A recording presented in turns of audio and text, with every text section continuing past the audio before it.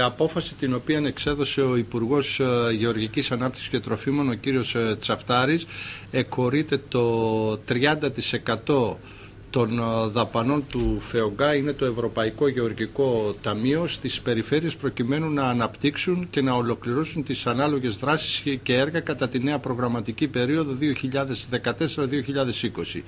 Αυτό για την περιφέρεια Βορείου Αιγαίου σημαίνει επιπλέον χρηματοδότηση για έργα τα οποία ασφαλώς και προορίζονται για τον πρωτογενή τομέα της τάξης των 60 και πλέον εκατομμυρίων ευρώ.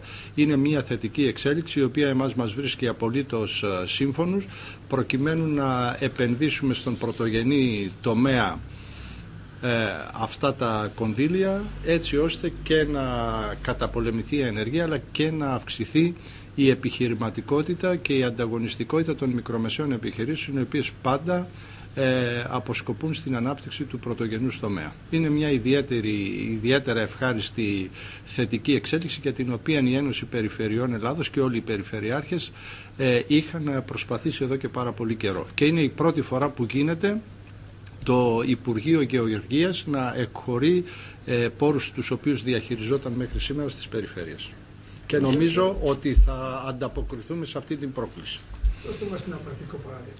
Ένα πρακτικό παράδειγμα αυτή τη στιγμή ένα έργο μικρό ή μεγαλύτερο εγγύων βελτιώσεων όπως ας πούμε μιλώ και γενικά για την περιφέρεια ή ας πούμε ένα φράγμα θα το ε, διαχειριστεί από αυτούς τους συγκεκριμένους πόρους η περιφέρεια Βορείου Αιγαίου ή η χρηματοδότηση μιας μικρομεσαίας επιχείρησης ή μεγαλύτερη επιχείρηση η οποία θέλει να ε, δραστηριοποιηθεί στο πρωτογενή τομέα ένα εινοποιείο ας πούμε ή μια επένδυση η οποία θα αφορά την μαστίχα ή το κρασί ή το λάδι θα την διαχειριστεί μέσα από αυτά τα κονδύλια η περιφέρεια Βορείου Αιγαίου. Το 30%. Το 30% του συνολικού κονδυλίου για το οποίο για την περιφέρεια είναι 60 εκατομμύρια τουλάχιστον ευρώ. Επιμερίζεται σε νησιά ή Όχι, όχι. Ε, αυτό είναι κάτι που θέλω σας παρακαλώ άλλη μία φορά να το ξεκαθαρίσουμε.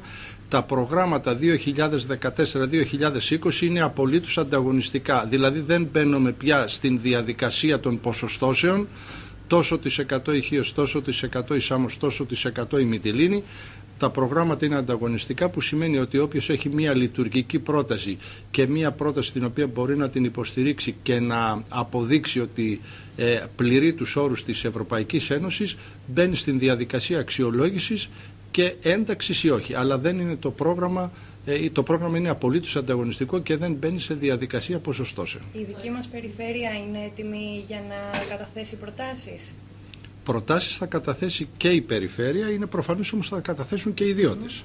Το πρόγραμμα αρχίζει 2014-2020 και αυτή τη στιγμή είναι η περίοδος της προετοιμασίας. Και γι' αυτό το θέμα θα ενημερώσουμε όλους εκείνους οι οποίοι εμπλέκονται στον πρωτογενή τομέα. Και όταν λέω πρωτογενής τομέας εννοώ γεωργία, κτηνοτροφία, μεταποίηση, ε, αλληλεία. Αυτό σημαίνει ότι όσοι έχουν κάνει μελέτες ήδη είναι Είναι προφανές ότι έχουν ένα, ένα προβάδισμα υπό την έννοια ότι θα μπορούν να τις καταθέσουν άμεσα μόλι ανοίξει το πρόγραμμα. Το πρόγραμμα αυτό πιστεύουμε ότι θα μπορούν να κατατεθούν προτάσεις περί το τέλος του 2014.